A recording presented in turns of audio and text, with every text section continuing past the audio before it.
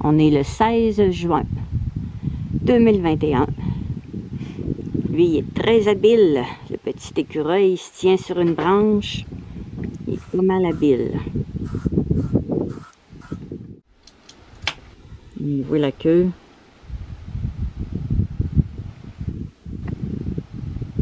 il est bon pour se percher de même, Il est un acrobate.